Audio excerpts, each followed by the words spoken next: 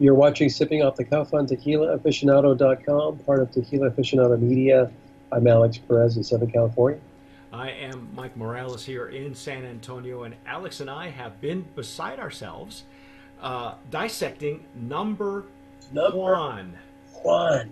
Juan, there can be only Juan.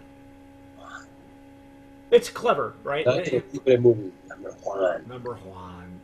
Remember when, when the guy uh, for uh, that pro wrestler in the movie, where he was telling he was telling him how good he was, and your arms are number one, and Ramses' legs are number one. Ramses' legs. um, this, Anyway. this we we fell all over ourselves with the blanco. This is a reposado. Now, uh, I was telling Alex off camera, This- this, this- with the shirt and the bottle on the, on the screen, uh, the, the shirt on the with it looks like a red liquid in there. yeah. Oh, yeah, oh, I know because of my shirt. Yeah, it looks it looks pink. It's a it's a pink reposado. No, not really. Um, actually, this I didn't notice this. It has the uh, the Hecho en Mexico eagle. I, do I have it upside down or right side up? I can't tell. But anyway, um, the this is the second time I was telling Alice. This is the second time that um, we have uh, tried a brand that has completely skipped the añejo category. And uh, I was referring to uh, Mi Campo because that one, uh, the market for to Mi, Mi Campo was uh, specifically marketed to millennials. In this case, and, and I said to Alex then, I said, you know, Alex, this uh, that repo, that reposado was so hearty that it was almost as if it, it, had, it had accomplished what it set out to do, to be both a repo and an añejo, Right. and and not have to and not have to price it, you know, at the añejo category. And this is What? now, now re, t- what did you say it was the um, the uh, the aging process on this one? So this one is a triple barrel blend, which is Wow. very interesting. Triple barrel blend of French and American white oak, aged a full nine months. So they're calling it a superior reposado. Okay, so um, that being said, for those for those people who like añejos, this reposado would probably cut the mustard. Yeah, Let me see what kind of nose it's got. beautiful nose. Ooh, oh, that's so pretty. Oh, oh, I, I, I just we just opened these. I haven't even you know we I, off camera. Alex and I just broke the seal on this on this uh, reposado. Nice. This is cologne, dude. I don't want to drink this. I just want to wear it on my pulse points. oh my goodness. It's got a nice sweet nose, but Yeah. not not overly sweet. It's it's almost like a gentle, like a, uh, a Like a fl- is that right? Like a floral sweetness, It's um, like a jasmine or something. a jasmine. it's a it's it's a heavy perf you know i don't even want to say heavy because I'm, I'm running out of descriptors here but it is it's aromatic enough It's aromatic. There you go. it's aromatic enough but it's not spicy it leans more toward to for me floral and i'm not sure if you're getting any of that but maybe it hasn't opened up enough i'm using my staso jarrito that i'm actually using the staso for the uh, for mezcal so it's got a wider a wider mouth and it, and it's actually lighter out of the bottle. The color is, is a little bit lighter out of the bottle than it is in the bottle because uh, the bottle, as you can see, it's it's beveled and cut to look like a like a pina. It's a light, it's a light straw, Yeah. but it's got a beautiful nose. I'm, I'm getting. I mean, I can see what you're saying about jasmine. Just that little floral. Uh, I am getting a little bit of spice. Well, now now that it's opening up for me, I'm getting the barrel spicing. It's a baking spice. You know the baking spices. You get. You know the wood. The wood is, is really nice on this. It's not overpowering at all. No, not at all. In fact, that's what surprised me was the the the hints of of, of floral on on the nose because that usually don't get you don't get that. You get some spiciness, and it goes from there. And maybe that could Ten months in the barrel too. yeah, well, double barrel. That's it. First of all, there's a lot of a lot of manual labor involved in in this in just this this reposado.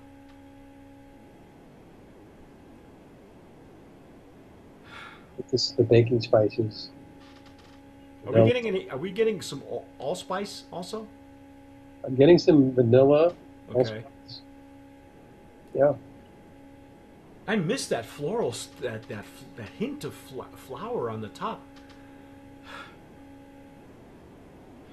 Now I'm now I'm getting more more wood, more barrel.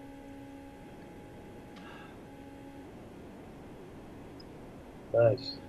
That's Let's- a- Let's oh, dive in. Let's see what what it tastes like. Mm,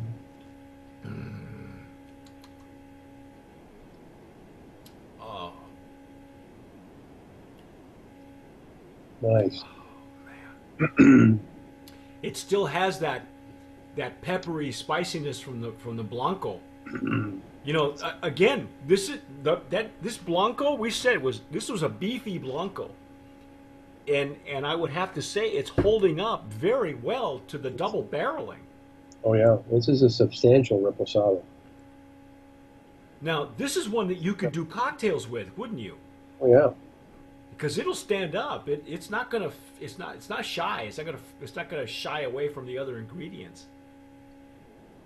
Now, see at the bottom, I'm getting like hints of, of either it's the wood char or tobacco or something. It's a like a bitter, maybe like some dark chocolate or something, or cacao, you know, or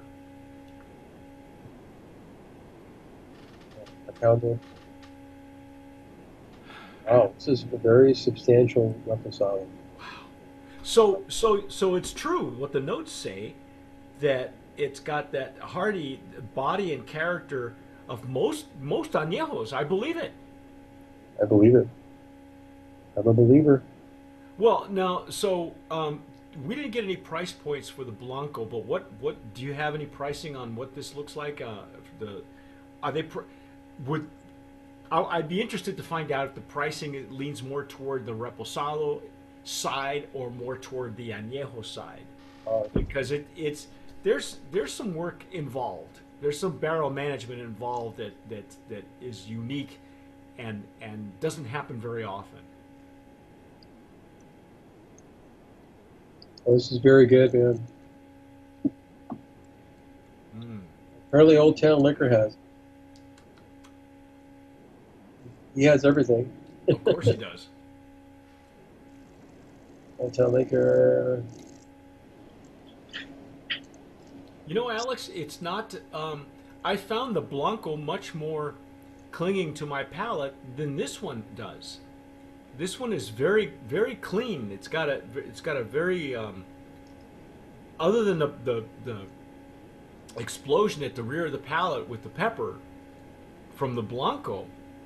Um, this is a very enjoyable. In, in fact, I can't even I can't even detect the the French oak because French oak by and large is pretty sweet.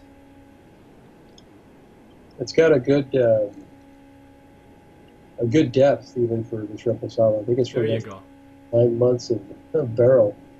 Uh, let me see if I can find a, pri- a price point for this. Number one. Yes, I'm 21. I love it when they ask that question. So, okay, so check it out. Old Town Liquor, Mhm. Cal- Southern California. The Blanco, which we tasted previously, is $39.99. Oh my God, it's a steal. The Reposado is $49.95. Okay, see, that's what I thought.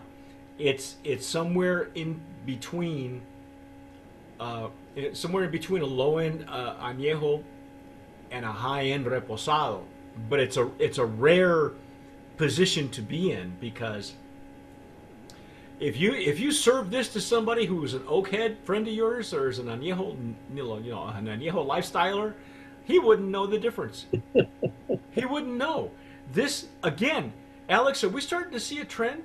Are we starting to see where Remember last year, last couple of years, it kept saying that the, the Reposado category was making a comeback. You know, there were some really substantial, wonderful Reposados, which are really difficult to make because you can mess it up. And this is the second time I've seen a brand that you and I have tasted together where the Blanco and the Reposado make a statement, and the Reposados particularly because it makes more of an añejo statement. In other words, it fits the bill of the añejo. So it's almost as if it, there's no need to have one. Well, imagine you're eliminating uh, um, SKU, eliminating a, a, a, product. Yeah, but but again, uh, and, and I don't know, is that commercial suicide?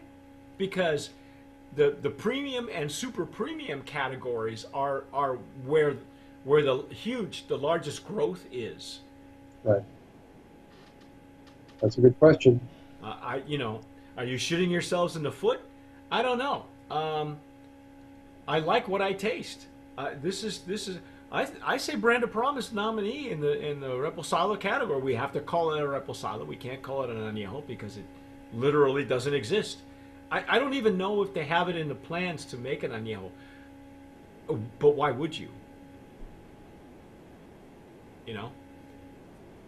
Wow. By the way, uh, for those of you who, who who may not know, this tequila, number one tequila, is owned by two guys, two comics, very very beloved comics, Ron White and Alex Reymundo. Ron White, of course, of the uh, Blue Collar Tour guys, and and and uh, maybe you've seen him on Roadies, on um, uh, on one of your cable stations, or uh, and Alex Reymundo is one of the original Latin kings of comedy.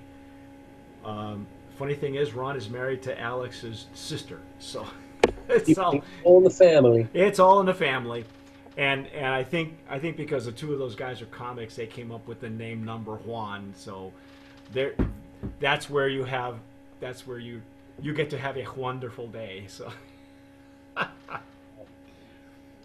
wow, man, I'm impressed. Look at how pretty the legs and tears look on on the glass. They they sheet, they don't cling. You, and it's, you know, I don't even see any. Obviously, they're not using uh, uh, you know, they're not using any additives, so it's not like you're seeing a really clingy legs and tears. You're just seeing a natural, a natural cr- uh, a crown of uh, string of pearls. But you know, for that long in the barrel, Alex, I, am surprised that it's actually it, it, actually looks lighter in your glass than it does in the bottle. Right. So, anyway, um, that is our take on number one reposado. Uh, for for uh, for those of you reposado reposado, and we can't we can't call it an añejo, but anyway. Um, stick with us because we will be right back. This is a brand that completely skips, just overlooks the añejo category and goes directly to the extra añejo. It's too, it's too good for it. What's it? Oh, yeah, you know, there's a there's a story that goes with it, and Alex Reymundo was nice enough to, to, to tell me a little bit of the story. So I'll I'll share that with everybody here on our our next uh, podcast and our next uh, uh, our next uh, YouTube tasting. But that is our take on our brand of promise nominee in the reposado category. That is number one. Thank you tequila. I am Mike Morales here in San Antonio. That gentleman over there is Alex Perez in Southern California. Thanks for watching. Sipping on the cuff, sipping off the cuff, excuse me. the cuff. Hey, hey. and uh, keep watching, and please uh, subscribe. And as always, sip wisely.